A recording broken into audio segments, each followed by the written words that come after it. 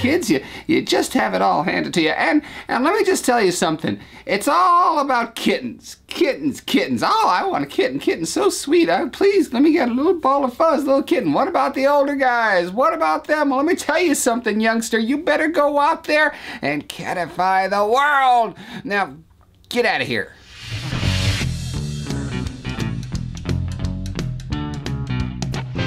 Yesterday, I went to this wonderful woman's house. Uh, Janet, hi Janet.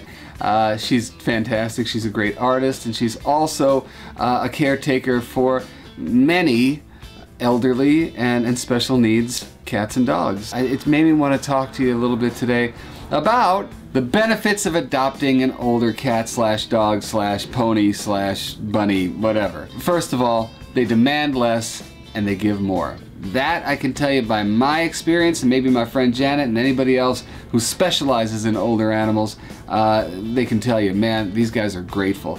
You will find that the love that you get from an older animal is just unparalleled. And I'm not just saying this, guys. I am not just saying this because I want you to go out there and be just like my friend Janet yesterday and take the hard to place guys. Take the ones that are older. Take the ones that may have higher vet bills yeah, I mean, I get it. It might be an inconvenience, and, and it also psychologically may be very tough for you. But that said, the payback is absolutely immense.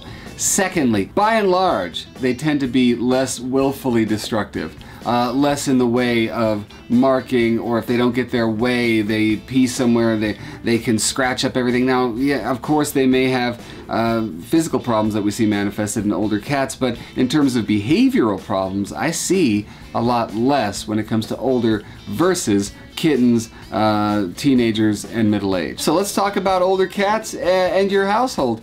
Now, if you work a lot, you don't really want a kitten in your house or, or a teenager. They are going to be demanding of you. You know, you've seen me do a lot of videos on, uh, on play therapy, on getting energy out of cats. You know, a nine-year-old, 10-year-old cat, you don't really have to worry that much about constantly entertaining them. Of course, we want to keep them mentally stimulated and physically stimulated as well, but that doesn't mean they demand it the way younger cats do. Once you get to a certain age, it is about the path of least resistance, and that makes for a much calmer house for the most part, because instead of hunt, catch, kill, eat, groom, and sleep. It's like watch someone else hunt and catch and kill, and then you can eat and groom and sleep. That is the life of an older cat. That's like what cat retirement is all about. Another advantage to an older animal in your home, when you get an older cat, a senior cat, you know what you're getting. You know if they have a history with other cats or dogs. You know how tolerant they are of children, for instance. You know how they'll integrate into your house or not integrate. When you get a kitten, you're not sure what you're getting in terms of the personality. So what you see is kind of what you get as opposed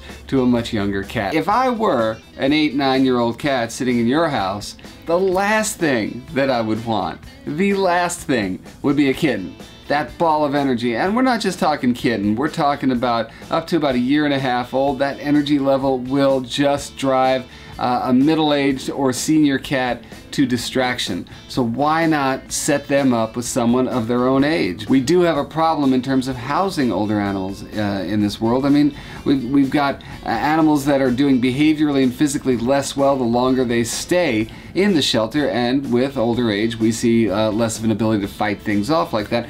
Plus, they're less popular. They're, they're not going to get adopted as fast. So you have uh, open admission shelters that are unfortunately killing these cats, and you've got selective admission shelters that are saying, yeah, you know, we really can't do much with your 12 year old because I don't know if we're ever going to be able to get him out of here. That's the reality of the situation, folks. We did touch on this a little bit. Is there a quote unquote downside? If you are adopting an older animal, you should be, uh, you know, able to take care of that cat, dog, or whomever and uh, that means that the vet bills will be higher. You do have to commit to bringing your your senior cat in for an annual wellness exam. Now, I know I can get into your head when it comes to your psyche. If you had a kitten sitting here or a teenager cat and an older cat and you say, I'm gonna take the kitten. Why is it that you take that kitten? Well, first of all, you don't want to be faced with that animal's mortality. You, you just don't want to give your heart to an animal that you might lose sooner than later. I get that. But again, we're talking about expanding out our circle of compassion. The second thing is people are under the mistaken notion that bringing in a kitten into a home with existing animals will be easier. There's no hard and fast about that because they will be teenagers soon enough. They're going to cause havoc in your home and and you're you're you're going to have an easier time in my opinion and in my experience with an older cat versus a younger cat. And the other thing is, uh, you, you, think that you might be able to mold them into the shape that you would like them to be, as opposed to the concept of teaching an old cat or an old dog new tricks.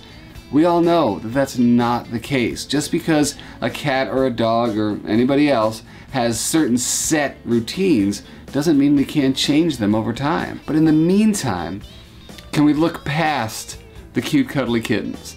Again, you know, I've talked about this a lot the, the concept of expanding your circle of compassion, about saying, well, if I love this cute little cuddly kitten, do I love this eight year old sitting here in the cage next to the cuddly kitten?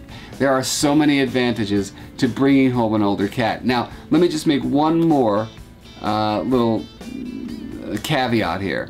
Just because I'm singing the praises of older animals today does not mean I'm telling you not to take home the kittens and the teenagers. They all need homes, folks. They all need homes.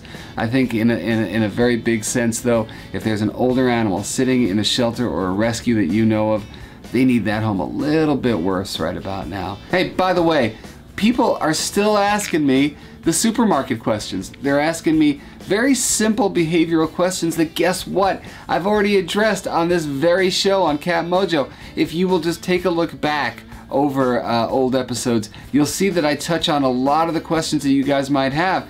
Uh, for instance, uh, about catifying your home, the confident wear. If you talk about introducing cat to cat, plenty of things that, that you might be having trouble with I've already addressed. So make sure that if you find uh, a question on Twitter or Facebook from somebody else who's getting really frustrated, guide them back to old episodes of Cat Mojo, and maybe we'll help keep those cats in homes. And by the way, if there is a supermarket question that, that I haven't answered yet, well then by all means, please don't hit me up in the supermarket. Hit me up at hashtag Team Cat Mojo. And that's that. All right, folks, until the next time we speak, which will be, oh, in uh, uh, just about a week's time. Be good to yourselves, be good to the animals in your lives, and adopt yourself an older cat slash dog slash pony slash bunny slash something today, okay? All right, until next time, all light, all love, all mojo to you. Mm, love you guys. You're a bad cat. I'm not a bad cat. You're a bad cat. I'm not a bad cat.